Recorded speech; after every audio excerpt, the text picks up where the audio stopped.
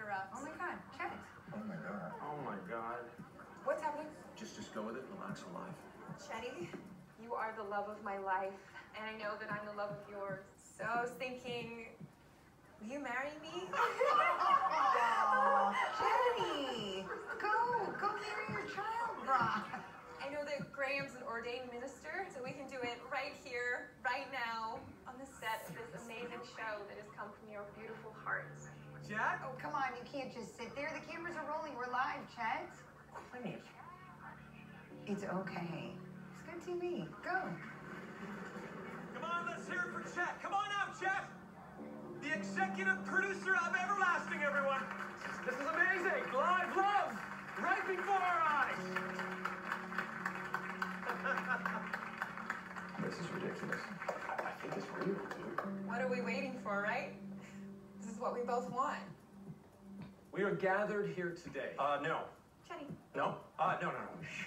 uh, can't do this. I don't want this. I just can't. Why not? I'm in love with someone else. Oh, shit. Even though she doesn't love me.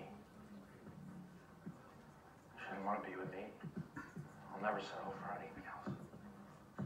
Who you're in love with? Don't say it. Don't say it. Don't say it. Quinn.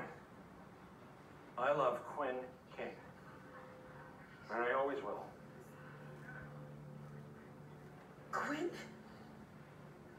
But she's old and she can't have babies and she hates you. I know.